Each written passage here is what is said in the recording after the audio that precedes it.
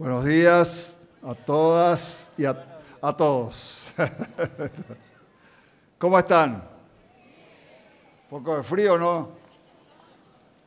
Bueno, no hay que olvidarse que estamos aquí a la orilla del río Paraguay y siempre en esta zona entre 1 o 2 grados está por debajo la, la temperatura, así que aquí hace más frío todavía. Pero el calor que ustedes brindan hace más placentero de que estemos todos juntos.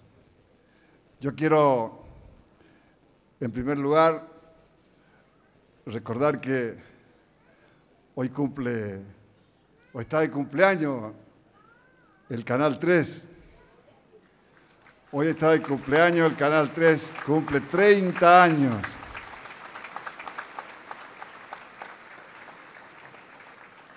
Feliz cumpleaños para el Canal 3 y para todos los trabajadores de ese canal, que tiene su historia. Tiene su historia porque surgió en un momento en donde el gobierno provincial no tenía ninguna herramienta como para poder hacer conocer sus obras, sus acciones al pueblo formoseño.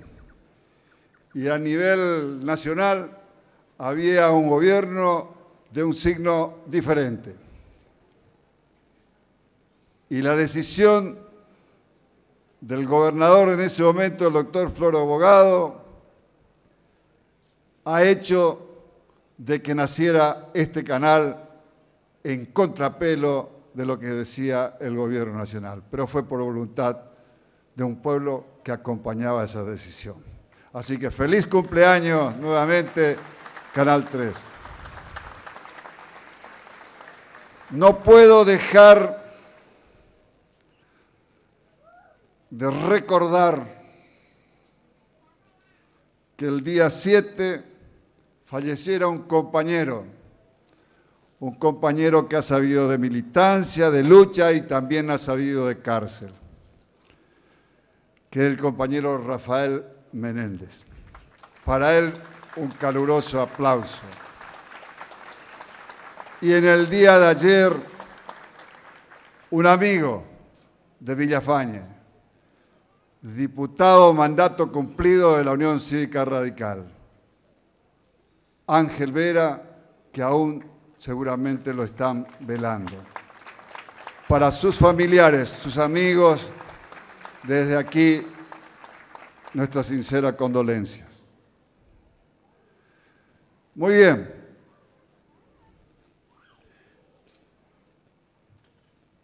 Estar aquí en la Escuela 31 en el barrio San Martín, como lo tiene catalogado, lo tiene identificado el municipio. Pero la comunidad aquí es cierto. Para ellos no es barrio San Martín, para ellos es barrio Sarmiento. Y está bien que así lo sea y así lo siento. Ellos sabrán por qué. La directora decía y explicaba la historia de esta escuela. Y en el momento en que ella, directora Paula,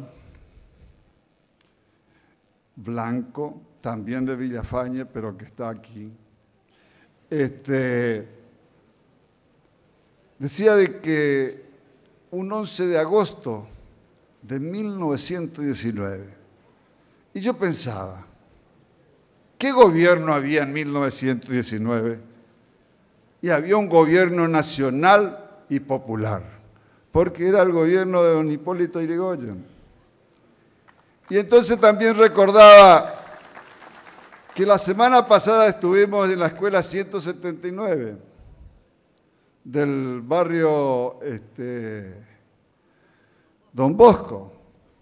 Y esa escuela fue creada en el año 1952.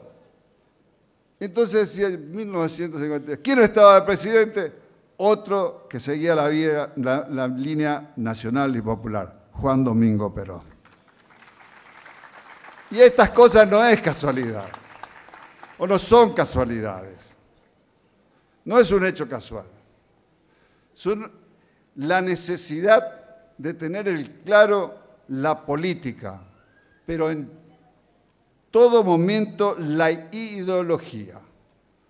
Porque si nosotros sabemos qué ideologías tiene, sabemos para quiénes va a gobernar.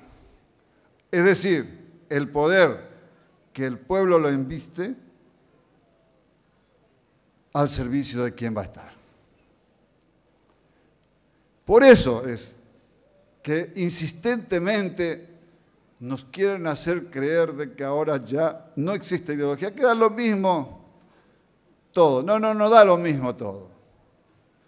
Hay que tener muy en cuenta qué es el neoliberalismo, qué es el individualismo, qué es el famoso libre mercado, sálvese quien pueda.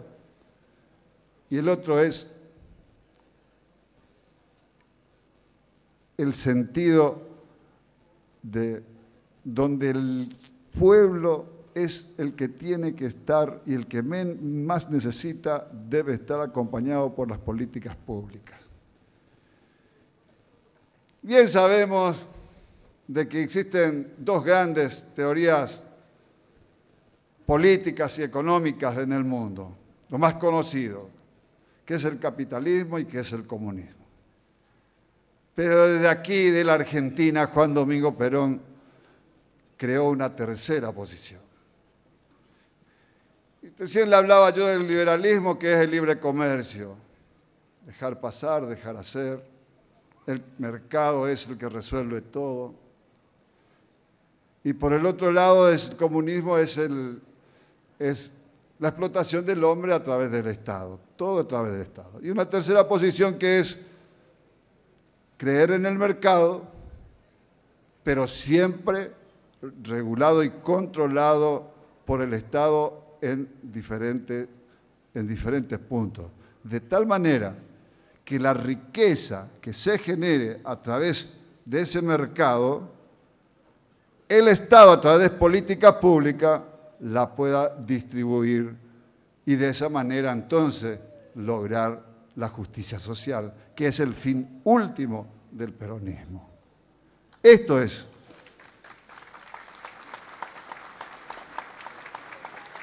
Y ustedes dirán, ¿por qué insiste? Si algo de esto también ya habló la semana pasada. Le voy a seguir hablando y tenemos que seguir hablando todos los días de estas cosas y de esta diferencia, que parece que todo igual, no es todo igual, es mentira. Y yo decía la otra vez de que Durán Barba le enseñó cómo tienen que llegar o ganar una elección y no le enseñó a gobernar.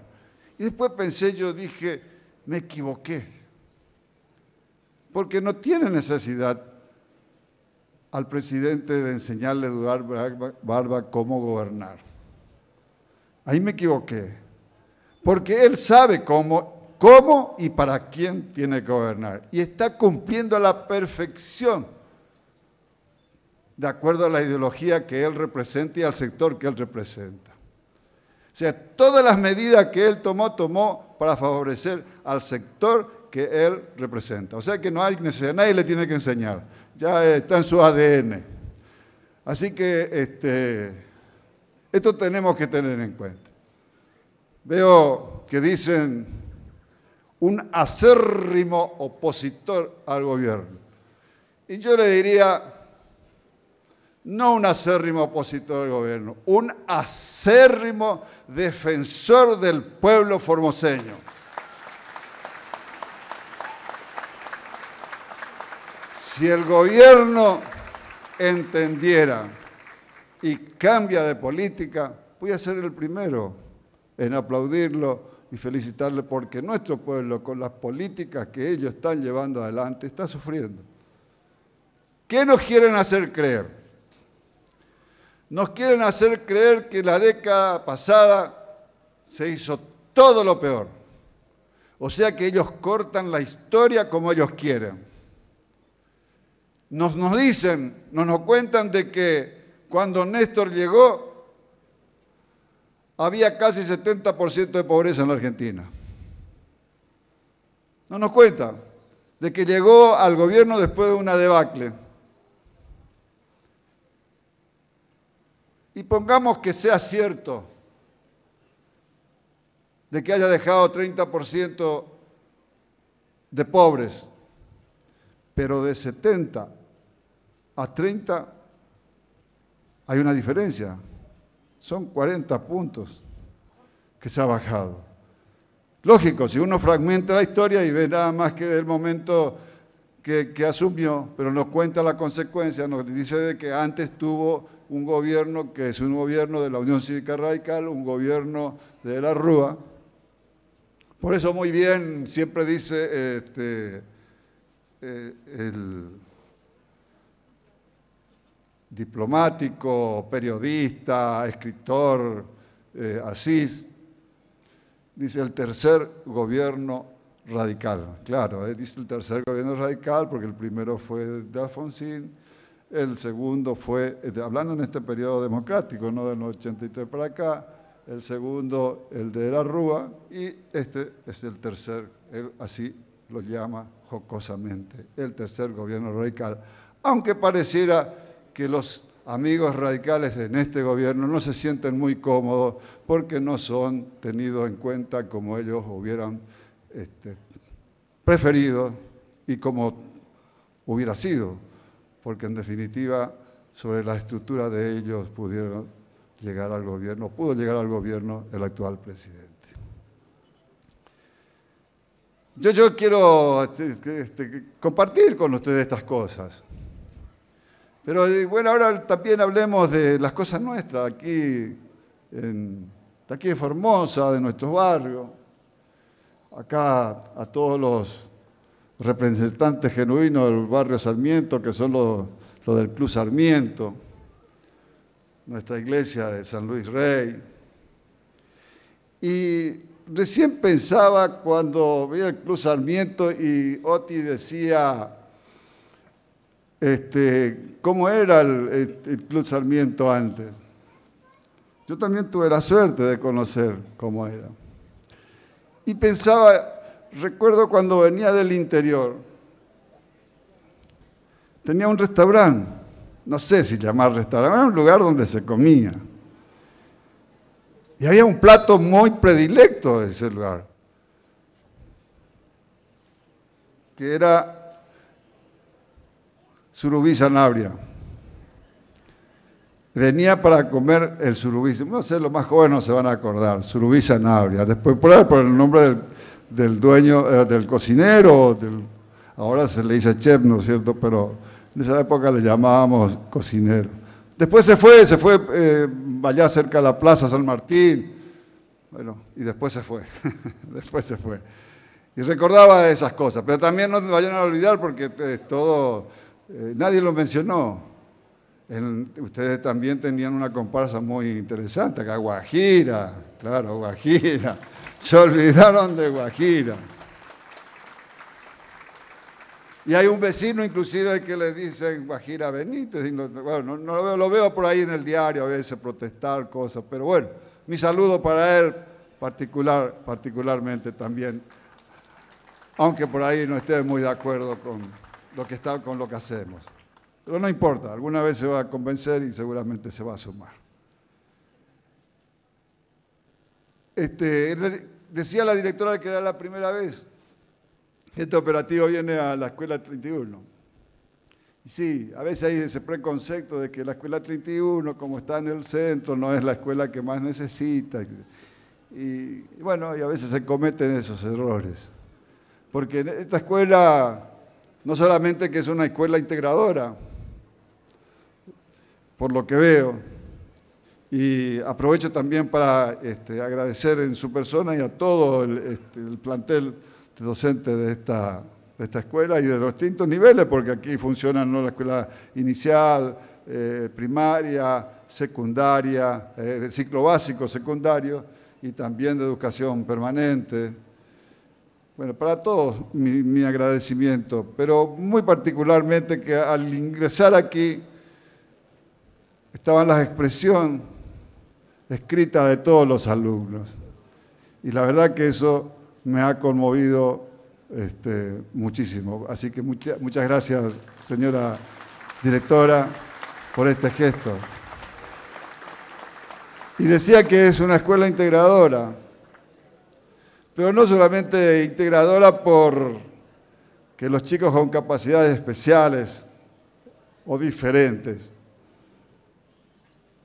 vienen a recibir el servicio educacional aquí, sino integradora también porque aquí en esta escuela muchos niños y niñas de nuestros vecinos paraguayos de Alberdi vienen a cursar sus estudios aquí, en este lugar. ¡Qué generosidad del pueblo argentino, del pueblo formoseño! Y usted habló de solidaridad y explicó que es un valor, un valor que uno trae de lo que le enseñan en la casa. Y fíjese usted que hoy, la palabra de hoy justamente habla de que Jesús predicaba en la sinagoga. Y llegó el momento de la ofrenda, de la limosna. Entonces él decía, guarda con los escribas, que son las personas que siempre están en los primeros bancos en la sinagoga, en los banquetes. Y entonces se puso a observar cuando iban entregando su ofrenda. Estas personas entregaban ofrenda muy, muy grande, muy suntuosa, de mucho, mucho dinero. Y después venía una viuda humilde viuda, y entregó solamente dos monedas. Y Jesús pregunta, ¿quiénes de todos los que vinieron a dar su ofrenda a Dios más? Y él respondió, quien dio más fue esa humilde viuda que entregó dos monedas. ¿Por qué? porque todos los otros entregaron lo que les sobra. En cambio, ella entregó de lo que no tiene, de lo, que, de lo único que tiene, entregó de su humildad, entregó, inclusive a lo mejor entregó lo que le podía servir para comer ese día. Bueno, eso yo creo que es la mejor expresión de la solidaridad. Dar, como diría el Papa, de lo que duela, no dar lo que sobra, dar lo que duele.